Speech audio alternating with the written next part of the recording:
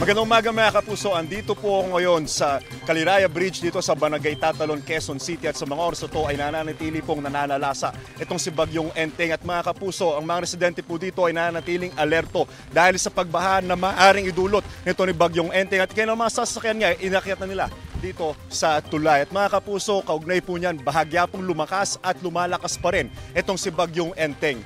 Kaya naman mga kapuso, nakataas ngayon ang orange rainfall warning sa Quezon Province. Ayon sa pag-asa, seryoso po ang banta ng pagbaha sa gitna ng pag-uulan.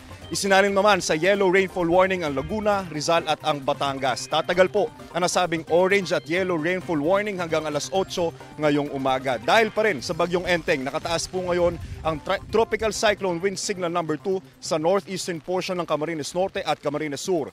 Eastern portion ng Cagayan kasama po ang Babuyan Islands, eastern portion ng Isabela, Polillo Islands, eastern portion ng Quirino at eastern portion ng Kalinga. Signal number 1 naman po sa southern portion ng Batanes, eastern portion ng Ilocos Norte, eastern portion ng Abra, buong Apayao, nalalabing bahagi ng Kalinga, eastern portion ng Mountain Province, eastern portion ng Ifugao, mga nalalabing bahagi ng Cagayan, Isabela at Quirino. Gayon na rin po sa eastern portion ng Nueva Vizcaya, rest of Aurora, eastern portion ng Nueva Ecija, eastern portion ng Bulacan, eastern portion ng Rizal at Laguna, northern at southern portion ng Quezon, buong Marinduque, mga nalalabing bahagi ng Camarines Norte at Camarines Sur, buong Albay, Sorsogon, Catanduanes at northern portion ng Basbate kasama po ang Ticao at Burias Islands.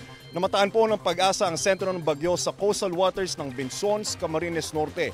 May lakas po yan na aabot sa 75 km per hour at bugso naman. Ito po yung lakas, nasa 90 km per hour. Kumikilos po yan sa direksyong pa west-northwest sa bilis na 10 km per hour. Paalala mga kapuso, stay safe and stay updated. Ako po si Anjo Pertiera, ang inyong unang hilit weather presenter. Know the weather before you go. Para Mark Safe lagi, mga kapuso.